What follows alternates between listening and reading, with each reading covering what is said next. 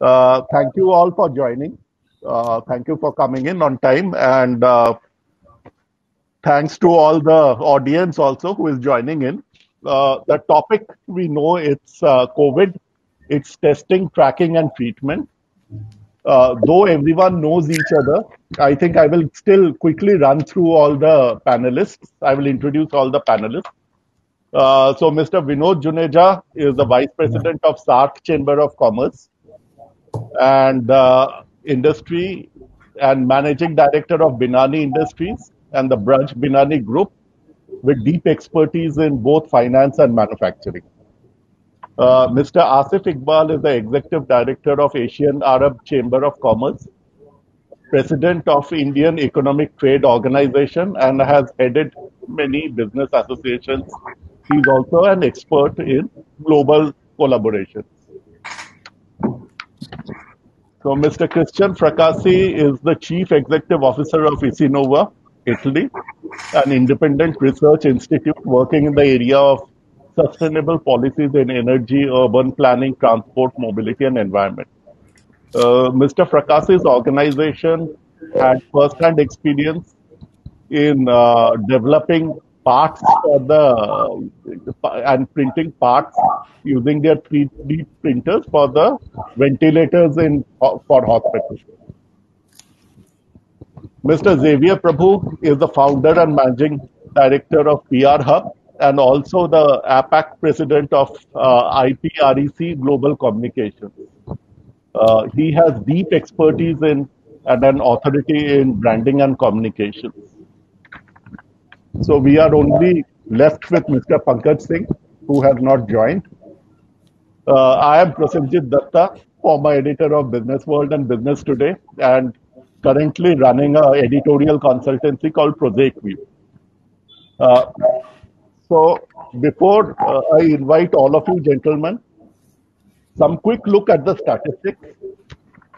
Uh, according to the according to ICMR, uh, till yesterday we had over 4.25 lakh cases, uh, out of which 14,000 new cases were registered yesterday itself. Uh, we have had 13,699 deaths because of COVID related issues, and this despite the most stringent lockdown for almost three months, which started from the end of March. Uh, while these are alarming numbers, there are other things to consider. First, our total tests are still low compared to our population of 130 crore people. Uh, second, we have not yet reached peak yet. The peak is supposed to come a couple of months down the line. Third, after the lockdown is being slowly removed, transmissions have started shooting up again. Uh, we also know that despite all the global col- collaboration that we have had, uh, we haven't actually found, and despite the fact that a huge number of work is going on in existing drugs and vaccines, no real cure has been developed as yet, and it's still months away. Uh, so, I would like your, I would like to start by giving, asking each of you to take five minutes to give your introductory thoughts on the subject. Uh, we have had a couple of dry runs so far, so just give your introductory thoughts in about five minutes. Uh, we will start with you, Mr. Juneja. Good afternoon to you all. Thank you, Mr. Datta, for a very gracious and nice introduction to all of us. As you told in my introduction, but I just wanted to tell you one or two small things. Yeah. Whether it is India, England, US, or whatever country you call it, the treatments which our, whether it is a government owned hospital run by the state, or a hospital or a nursing home run by a private sector. Now, treatment they are giving when the patient COVID positive patient goes to the hospital, whether he's going on ventilation or he's going oxygen, they are all supportive. There is a no medicine. If you said hospitals are telling we are giving treatment, there is a no treatment you are giving to a patient. What you are trying to do on only a supportive system. I am supporting with oxygen. I am supporting with the ventilator. I am support giving you some crocin. I am going to dolent different medicines. I am giving steam inhalation, whatever format. But if anybody who is telling I am giving a treatment, he is misleading you. All doctors, they are only supportive. If you said I am giving a treatment, have you got any vaccine? Have you got any what you call your any special medicine? If you are giving me paracetamol or anti-malaria, whatever President Trump and all we were talking about, those medicines, these are all tested medicine, no new medicine. So this is number one very important thing. No hospital is giving a treatment; they are only supporting you. Number two aspect is very important in this is there. This has been now recognized that this is not a airborne disease. We are not having anything which is coming in the air. It is only by touching, meeting, touching. So these are second point.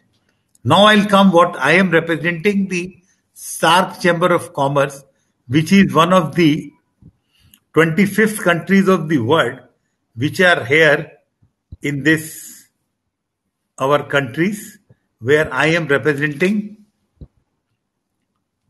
Afghanistan with a population of 38 million. We have got Bangladesh, 164 million. We have got Bhutan, which is now we have got a Bhutan, which has got 0.77 million. We have got India, which has got 1379 million. Maldives, which has got 0.54 million. We have got Nepal, 29 million. We have got Pakistan, 220 million. And we have got Sri Lanka with 21 million. This total makes of 21%, eight countries, 21.8% of the world population. 28%, 21.8% of the world human population is done in these SAARC countries. Now, if you'll see their data, they've got number of confirmed cases so far, which was on March 19, was 2 lakhs 9,000. And as on yesterday, they have got 8 lakhs 34,399 cases in all the eight countries. And there are number of deaths in these countries are 44,486 confirmed death in these eight countries. This is what now as far as India and SAARC is concerned, Indian Prime Minister Modi was first to call by his own initiative all the meetings of SAARC eight prime ministers.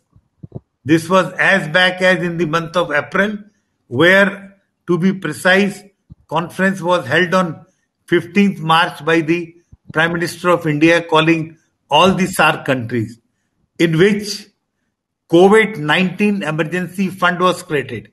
COVID-19 emergency fund, which all the country, all the Afghanistan, Bangladesh, Bhutan, India, Maldives, Nepal, Pakistan, Sri Lanka, total contributed and India has contributed 50% of the SAARC emergency fund.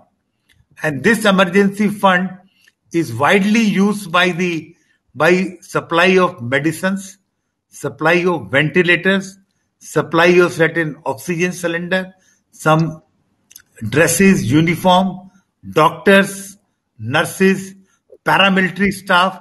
So India as a big country compared to our neighboring country, we were able to give all support to these countries, which is very highest. And I will tell you of this contribution. India has also got the SAARC Food Bank. Food Bank is in and which are India is holding through the godowns of Food Corporation of India we were able to supply the rice, wheat, pulses, Nepal, Bhutan, Maldives, any country wanted some food, India is able to give call SAARC Food Bank, which India is sole contributor and whichever countries they want, we are able to supply. This is one thing I want to talk about the eight SAARC countries with 28, 21.8 population of the world, which we are working in this eight nations. But you must also understand these are one of the poorest countries of the world, where there is a not much thing is coming. They are all like Bhutan, Nepal, Afghanistan. They are all lockdown countries. There is a no port, nothing. There is the only way you can go by the roads. That two, three, all mountains and all. But in spite of these countries, we are there to help and we are there to take like a big brother to all our humankind 21%. The last point, Mr. Datta, I want to make one small story which is coming up very nicely. In these countries, there is a problem with the social distancing. There is a problem with as far as wearing mask. We feel as somebody was telling we are wearing the mask like this, as wearing the wearing the bow or wearing a tie neck. We don't we feel hesitate to wear our mask like this, covered like this. We are not prepared. Similarly, people are in spite of all these countries, lockout is there or not there. People, most of the people don't respect the law whether it is the state government or the federal government or other thing, they have to use all their means under the law to threaten the population. But touch wood, we have got the biggest festivals of like Eid, which we are able to pass on in India very, very, very peacefully without any problem. We had in that uh, Eid, law and order are by and concern. We are having all India being the religious country of all the religions, including in SAARC countries, there is no communal rights, there is no rich and poor, there is no black and white sort of thing in India. India, now I'm talking all the neighboring countries, we are having very harmonic country. We respect each other, and I'm sure, as Mr. Datta was mentioning, the peak is yet to come. We were told that once the temperature will cross 40 degree in India now, most of the places temperature, whether Rajasthan, India, UP and all, temperature is 45 degree, but there is no relief. So there is no scientific proof that it will go up and down. But good thing is there now in SAARC countries, people are having corona or no cor- this one, we are able to pass on because Today, myself is telling I am a corona free. I can only say I am a corona free. Have I got my test? As there is a negative test. Otherwise, doctors are telling all are corona. There is nothing. The last and final point other patients like heart patients. Yesterday, in fact, there is some lady who fell down in her bathroom morning time. She fell down. You know, we Asian countries use lot of wet thing on the bathroom. She fell down. She had broken her hips, and no hospital in Delhi was prepared to give her treatment before the COVID test. And even she is prepared to give COVID test, it will take minimum 24 hours to get a negative or a positive report of COVID. So she was in pain. He was in all sort of problem but there was no doctor was there to admit her to any hospital. Only they advised through video conference, take some anti painkiller, things you take and sleep. Tomorrow when your result will come, then only I think I through your all this conference, I request all the medical facilities, doctor, nurses, paramedical staff, that you are all experienced doctors, nurses. If you see a genuine case, where you are confident this fellow. For example, tomorrow what you are going to do if there is a plane disaster, if there is a train accident, are you going to uh, to the all the people trained hundred hundred people are lying in the uh, injured seal that will have your a COVID test, then only we'll do it. Or there is a car and bus accident where there are 70, 80 people are lying there in the road accident and you will wait for the corona. I think we must change the attitude. This is the attitude problem for not only us, but doctors and para. I think we have to find out some solution, some guidelines to do. This is what my initial remark. Thank you for your patient hearing. Thank you. Uh, Mr. Asif Iqbal, would you go now? Yes. Thank you very much, uh, Mr. Datta, and uh, thanks, Horasis. This is my fifth uh, Horasis here. Unfortunately, this time it's online. Uh, currently, due to the our economic trade organization uh, has been at the forefront of promoting relationships and uh, inter governmental transactions for the COVID. We have been able to do quite a bit of that with a lot of hospitals in Bangalore and Delhi. Now, India being the key to the global battle against this COVID 19, uh, beating this will require a lot of innovation, uh, equity, global equity, and also the global collaboration. And I feel personally that India is scoring on all these three counts. So we have almost around 30 potential vaccines in our pipeline. Uh, most of them, uh, you know, uh, backed by the government, or at least they have been promised to be backed by the government funding. Now we have uh, been trying to get a lot of collaborations uh, with dif- different biotech companies uh, and the ICMR, uh, Office of the Principal Scientific Advisor, also to provide insights, uh, global R&D work that might inform India's uh, vaccine development efforts. So this is something, and apart from that, we have been having a lot of meetings where subjects like before we used to discuss about financial services, poverty, philanthropy, uh, nobody mentioned the word pandemic. The last we spoke about uh, COVID it was in the uh, in in Davos this January, and uh, now we have we have this is what we are now speaking completely.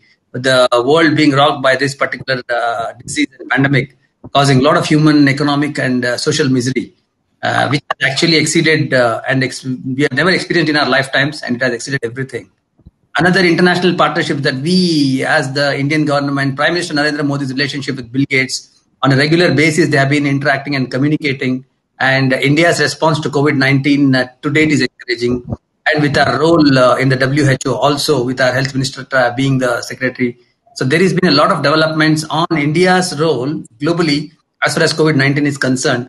Of course, uh, actions taken so far have kept the loss of lives uh, and also you know deaths, corona deaths, well below uh, like countries like Europe and the US. Now we are supporting this national response with all the technical assistance, digital tools, whatever is needed. There are a lot of innovations happening on a daily basis. Uh, there's a lot of training happening for healthcare workers. Recently had the migrant issues for which again uh, we were able to handle a little bit from the state point of view.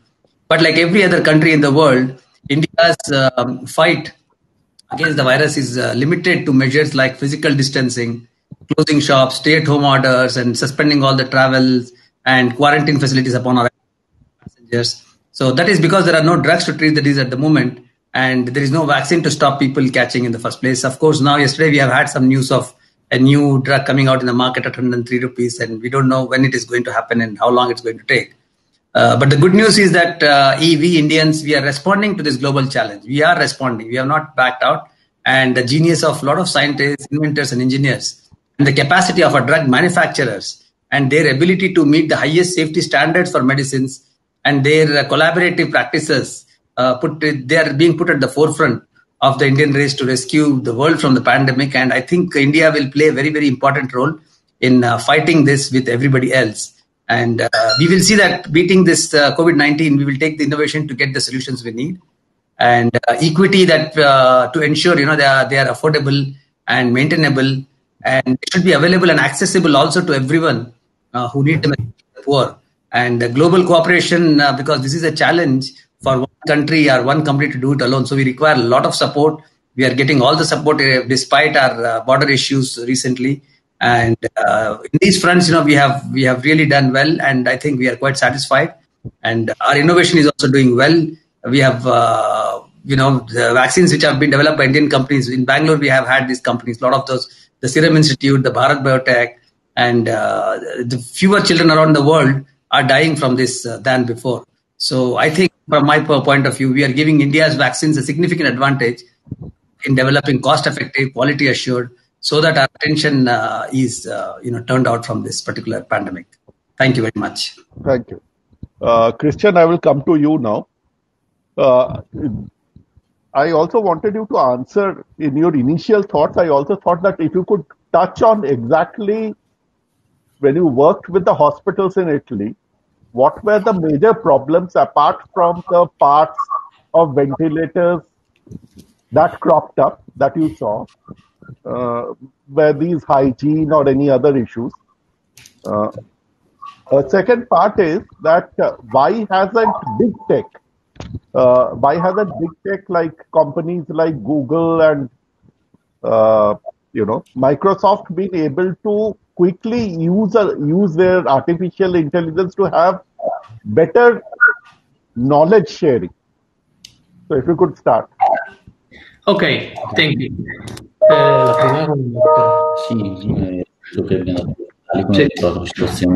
Okay, so at the beginning uh, we are in Italy.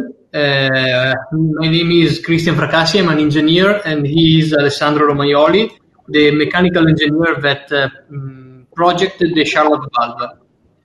We started about at the beginning of March, so more than two months ago, because in Italy we're on the top of um, the crisis and uh, we have a lot of people uh, with COVID, and the hospital doesn't have enough uh, mask to use like a respirator. So a doctor come to us. We have a smaller research center and uh, told us that we can convert a traditional snorkeling uh, mask into a respiratory one. So we start uh, projecting this object, this yellow object uh, that we call uh, Charlotte valve, and we start 3D printing it. So we share the file online, and we have more than 2 million download of the file. And uh, all over the world now, there are about uh, 150,000 masks used, uh, 15,000 in Italy, a lot of them also in Brazil, and uh, in uh, all other countries, Spain, uh, Germany, Canada, USA, Philippines. India, yeah, some some in India, right? And the, the, the big advantage is that the file was shared. So all the people that have a 3D printer can 3D print uh, the, the piece and use it as they want in the hospital. In um, 24 hours about, we have a lot of hospitals all over the world that start uh, to do the test and uh, that give us uh, good feedback.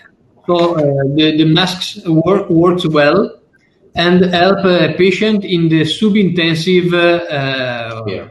care. So about the second question, if you want. Yeah, uh, the second question was uh, uh, why Google Facebook or other huge company that works in, uh, field uh, doesn't help uh, with um, I don't know simulation of uh, how the the COVID will flow and how it moves all around the world. Uh, well, I don't know the answer of the question, but uh, I suppose that uh, it's because it's the first time that we came face to face with uh, such a huge uh, um, situation in the modern period. I mean, of course, in the past we had a lot of uh, other um, hard COVID or other uh, viruses that uh, hit a lot of the people, but uh, that's the first in the modern in the modern time. So maybe, and uh, but I'm not sure of it. It's uh, because of that that the huge company doesn't have uh, the answer of how the, the the virus moves, how will, will be distributed in the immediate future, and how to find a solution or even a, a sort of vaccine. Um, maybe it's because of that. Uh, uh, maybe some some of the people felt that it's uh, because of the interest of the medical companies. Of course, uh, there are uh, a, huge uh, potential as well, but I think I think it's because of is the first one. Xavier, uh, I would like you to, in your initial remarks, in, in your initial thoughts and remarks, I would also like to pose one question to you. Yes. Uh, one of the biggest problems that I have seen, and I feel that a lot of people have also highlighted, is that initially in the first month, uh, there was very little proper communication about the safety to be taken.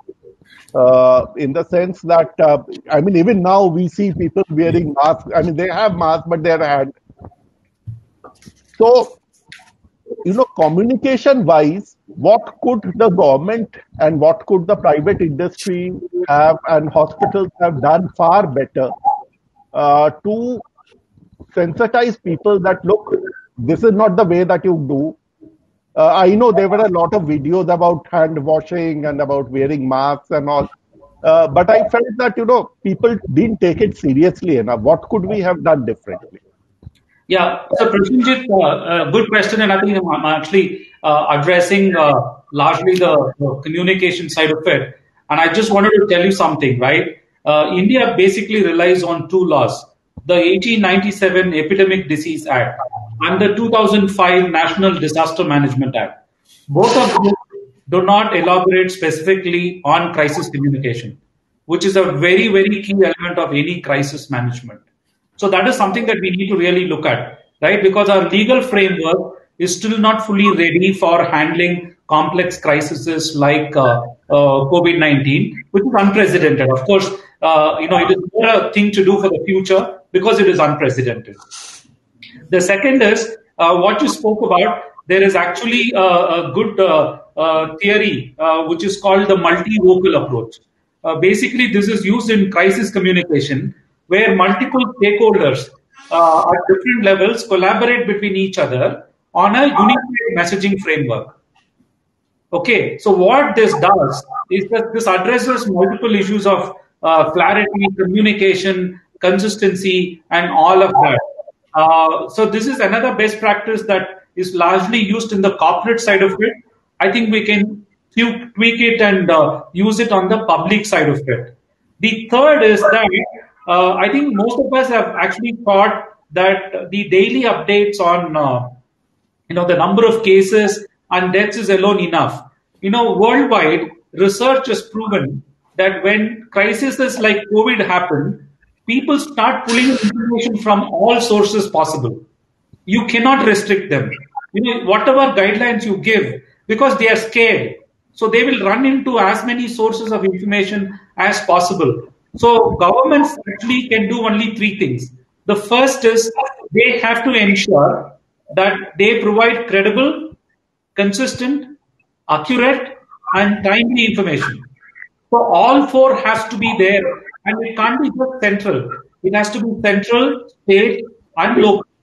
The second is uh, very, very important, and I think uh, we probably should have uh, paid more attention to it and we could have avoided a lot of crises like the migrants and others, is that we could have actually had localized communication, hyper localized communication, because that is what helps people to make decisions.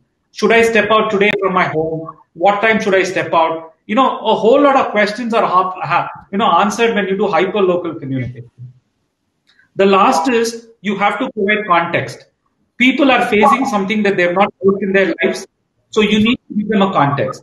So when you provide a context, they then are slightly assured and they step back. So basically, you know, uh, in crisis communication, it is not just information.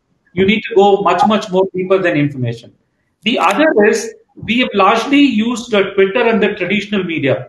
If you actually look at it, Angela Merkel, who's the most effective worldwide, doesn't have a verified or active Twitter account. And uh, uh if you look at in terms of uh, effectiveness, uh, Trump is the highest followed uh, leader on uh, Twitter. But the most number of viral tweets comes from Justin Trudeau of Canada, who has a fraction of the Twitter following that Trump has. Which means that you really, really have to focus on uh, effectiveness.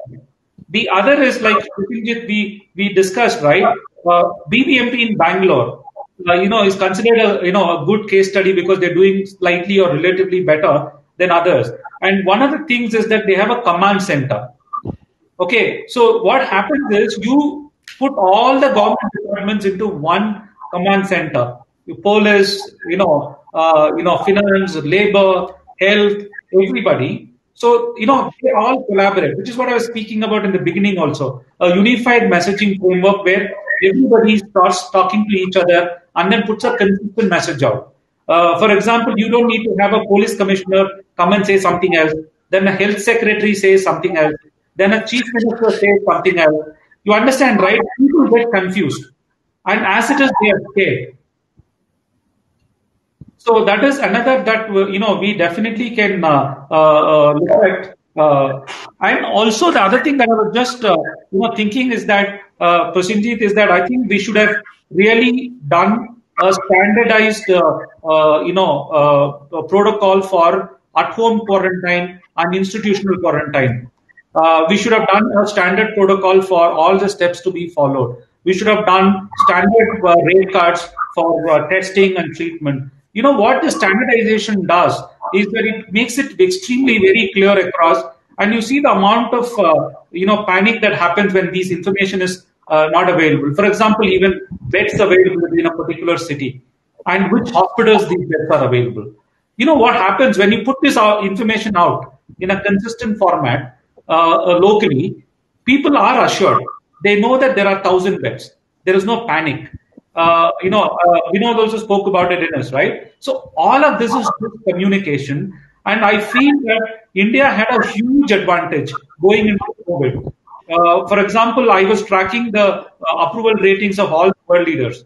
Uh, Indian Prime Minister has the highest approval rating of any world leader, and he is widely followed and charismatic. We actually should have leveraged that huge advantage.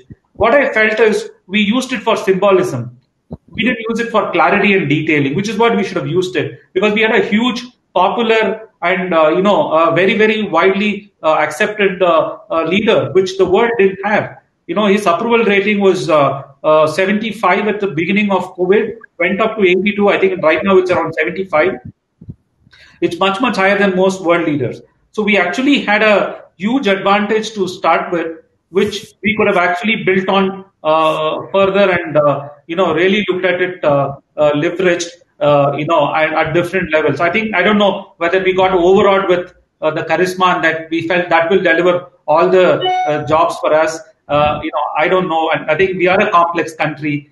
communication has to be layered, and the other thing is, you know, we should accept that uh, politics will be there even in COVID. I think uh, today, I think if we believe that politics is not going to be there in COVID, I think we are uh, really not being pragmatic. I think we should just factor it in and move on.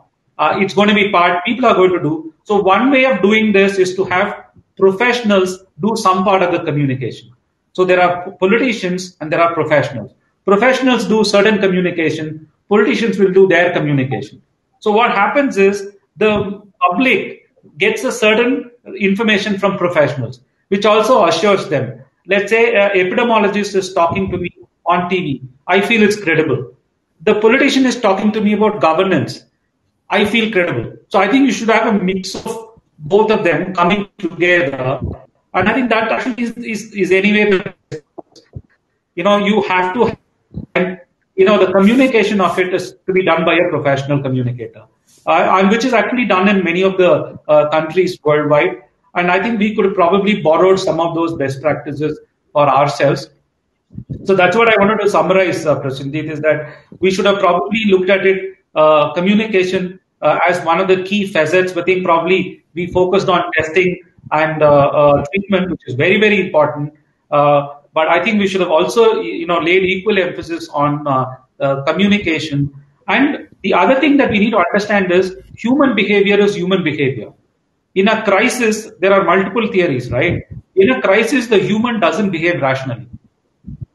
Okay, and that's that's known the world over. It's not something like uh, you know something new. I will tell you one of the things that you know Bangalore is doing the best among all the world cities. Uh, the only possible reason that I can ever think of is people here are you know are more willing to adhere to certain uh, guidelines probably that explains why Bangalore is doing a lot better than many other cities, which means that you know, there's a certain thing that, you know, about culture in each locality also, which we need to uh, factor in that becomes very, very effective in uh, uh, the response to COVID. So, uh, and I also I'm telling we can learn from each other. Kerala did a lot of good things. Maharashtra was the first to do safety camps for migrants. Uh, I think Karnataka has done fairly well on uh, contact tracing. So each state government has done a lot of good things. I think we could have probably cross pollinated all the ideas together and said, hey, this guy is doing better, let's learn from him. You know, I think that's what I'm speaking about in my multi-vocal approach. It basically says all the stakeholders have to collaborate actively at different levels. So that is what uh, I think uh, my uh, few points would be, uh, Prosenjit, on uh, how uh, we could have actually looked at uh, doing this better. Okay. I have a. I will come back to Asif and Vinod both together. Uh, both of you have worked, uh, both of you are heading organizations which deal with multiple countries, collaborating with multiple countries. Uh, in the first part, both of you explained how India has played a role in, in helping the other country. But I just wanted to know that has there been the, the point that Xavier just brought up? Has there been a sharing globally of the best practices information from different parts of the world? Has there been a free flow of information that, okay, let us do, these are the protocols to be followed or, or this is what we are finding out? Is that happening or is it still a muddled process? Yeah, so we know if you want to go first, then fine. You see, I can tell you not about the global one. Yeah. Surely I can talk about the SAARC nation. India has already sent its medical teams, doctors, and also the paramilitary, para people, paramedical staff to Afghanistan, Nepal, and Maldives also. Where they are, what you talk about the best practices, they have been told what has been followed best in India. And I can tell you, the all these SAARC nations are falling. I can't say about Pakistan because they are nobody knows what they are because there is except some communication. There is no physical contract with them. We are not coming that side. They are not coming over. But all the other seven SAARC countries are having in regular touch. We as a SAARC Chamber of Commerce, we are after all a commercial organization. We are all business people. We are not a NGO or we are not any other thing. We are purely a like FICCI, CIA or ASSOCHAM or PA, Punjab, Delhi, PhD Chamber of Commerce and all. We are trying to see that all of us and once in a week we all SAARC vice presidents, we meet on Zoom, we talk what are your business people are doing, and we talk how your business shops, your factories, your plants, your import export business, how is in impact? Are you finding some things which are lying in the airport, which are lying in the port, some medicines or some ventilators, whatever it is, thing, and these are very good flow of exchange among the SAARC countries, not at the government level, not at any other research level. This is businessman to business or what you call B2B. B2B, even what they are, been recently we talked, what are the incentives given by the Reserve Bank of India, Government of India in terms of taxation, in terms of loan waiver, in terms of reduction, 10% automatic increase in the cash credit limit for all the small scale industry. What are the GST benefits has been passed on. So what we are doing, Sri Lanka, for example, told without asking anybody, all the your you have got a limit of say hundred thousand dollar to your credit limit or hypothecation limit or import export limit, all has been increased across the state by 15% in Sri Lanka, and you have got no repayment for interest and no repayment for any penal interest or overdue interest. till the 31st September. And then, so these are the, what I want to tell you, Mr. Datta, that we are having a very good, fairly, not only on medical ground, but on business to business, we are having a interaction among the different countries, chamber of industries and association body. Thank you. Yeah. Uh, Asif, uh, one question. Uh, when, I mean, the same question actually, uh, when the companies in India are opening up, is there, have we got a free flow of information about the best protocol and safety measures to follow while opening up companies and factories and stuff? Offices. You you are still, I think you are, uh, you're, uh, you're mute, you're still. Oh yeah, yes, yes, yes, yeah. Specifically, I will answer this question for a few years. We are already a significant player in global health R and D. Now there are some vaccines developed by Indian companies, including the Serum Institute, the Bharat Biotech. Now Bharat Biotech is a company that has partnered with Bill and Melinda Gates Foundation. Now you can imagine the kind of collaboration and the cooperation we will be expecting when we are associated with uh, the Bill and uh, the, the Bill Gates Foundation.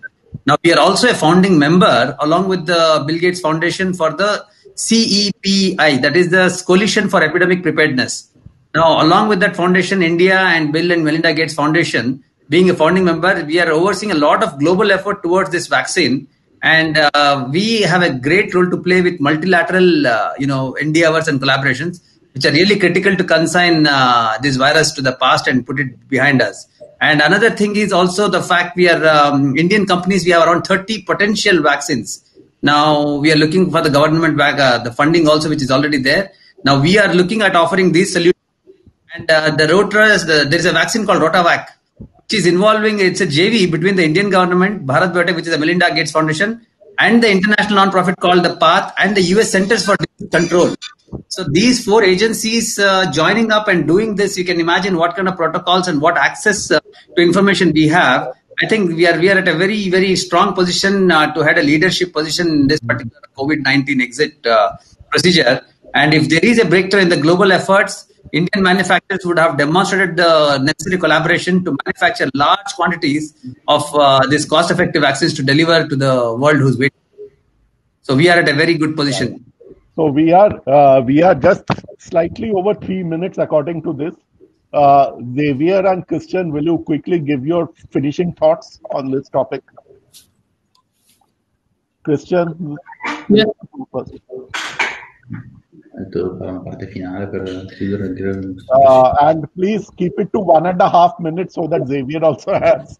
Yes, yes, yeah, yeah, no, no. un minuto mezzo. Cosa vi dico? Eh. Um, so wha- what I can say here in Italy, uh, we have uh, three months that was very very bad. Uh, fortunately, for now, we are in decreasing uh, curve, and uh, in our in the hospital of our city, for now, there is only one uh, patient uh, with COVID. So we are having we are trying to to to come back to the normality way.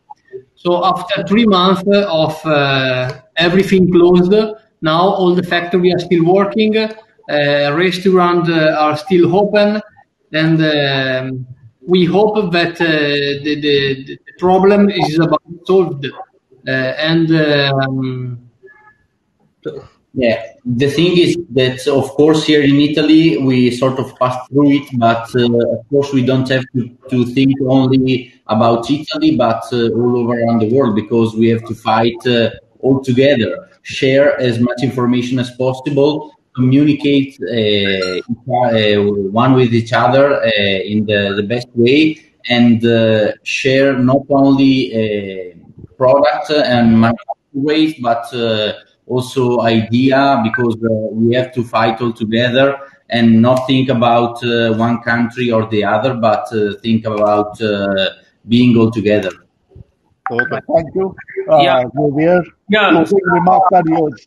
Yeah, Prosenjit. So, uh, you know, I think it's going to be a long haul. I think uh, all reports are saying that we are in for a long haul. So, I don't think so. Shutting down the economy, uh, you know, is going to be a great idea, and I don't think so. It's a possibility on the table because it has its own repercussions. And uh, so, I think what we need to do is to do uh, consistent messaging and communication, like we rightly said.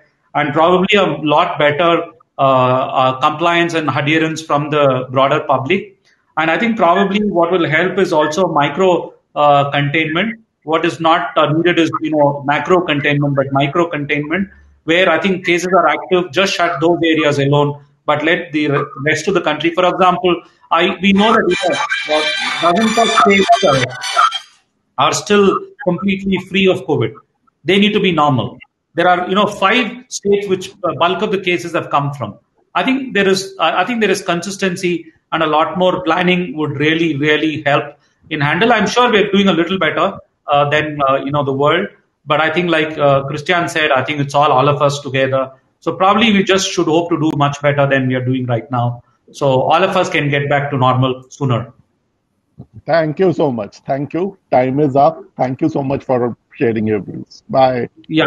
Thanks, Prosenjit. Thanks, Asif. Thanks, Cristian. And thanks, Vinod. Thank you. Thank you to all. Yeah. Bye.